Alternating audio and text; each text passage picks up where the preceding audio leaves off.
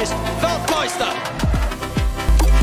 With Audi starting their Project F1 way back in 2022 to take over Sauber in 2026 with the new regulation, Audi made a bold claim that they want to start fighting at the sharp end of the competition on debut and fighting from the back is not part of the target. With news coming out about senior personnel of the F1 project leaving the team, there were a lot of doubts about Audi's commitment to their F1 entry. But later the company confirmed that the project is in progress and things are working at full swing. The team was believed to face few hiccups with the new 2026 engine regulations, but recent news suggests that the team is pursuing the project at full pace. With Sauber's performance dwelling with pit stop issues in 2024, things look rather uncertain on whether the team would be able to meet their targets on debut. But despite doubts and speculations, the team is going forward with the project and as a part of the plan, the team is restructuring the Sauber management as a part of the grand scheme of things for Audi to have a smoother entry into the 2026 regulation with the team having a smoother working dynamic. Andreas Seidl is working closer with the Audi group to make this happen at Sauber for Audi to have a stable platform to start their operations in Formula 1 from 2026, allowing the team to concentrate on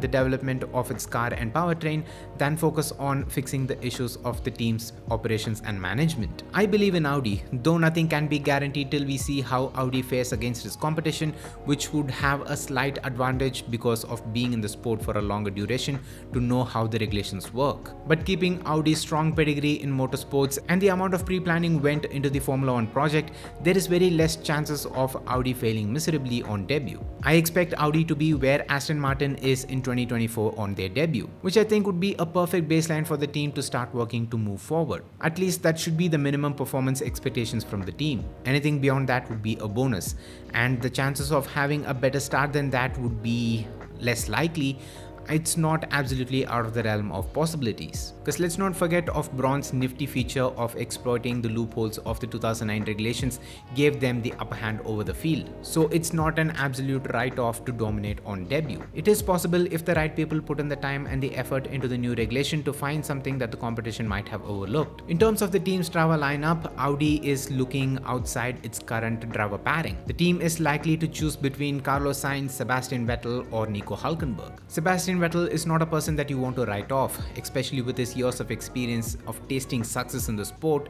and with him just testing with Porsche with their endurance car. With Porsche being a part of the Volkswagen group, I feel like it is all somewhere linked.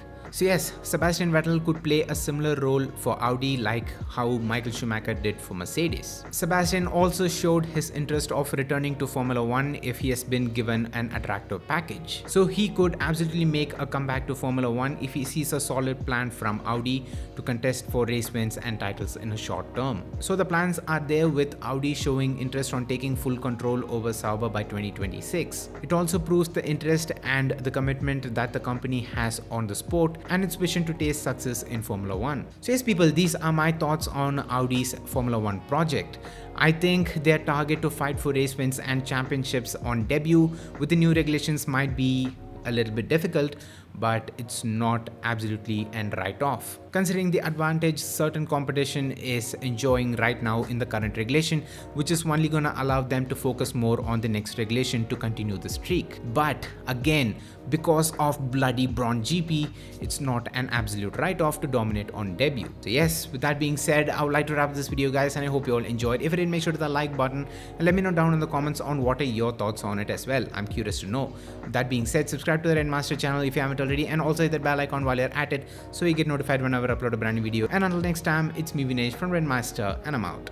Love you guys, stay safe, peace.